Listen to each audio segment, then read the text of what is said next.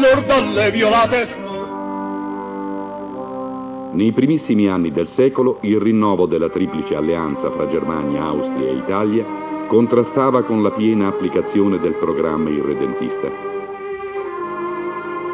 Uomo concreto, positivo, Battisti sposta allora la sua lotta su obiettivi realizzabili e immediati, rivendicando la separazione amministrativa dal Tirolo e l'autonomia del Trentino, unico mezzo per garantire più eque condizioni di vita al popolo e preservare l'italianità della sua terra.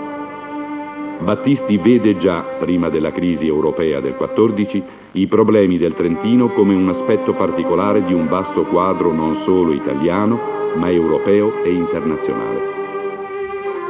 Ogni mezzo, ogni pubblicazione deve contribuire a rendere più popolari le sue idee, a rafforzare gli strumenti di lotta, per l'autonomia, per l'istituzione di un'università italiana a Trieste, per la libertà di stampa contro il militarismo asburgico.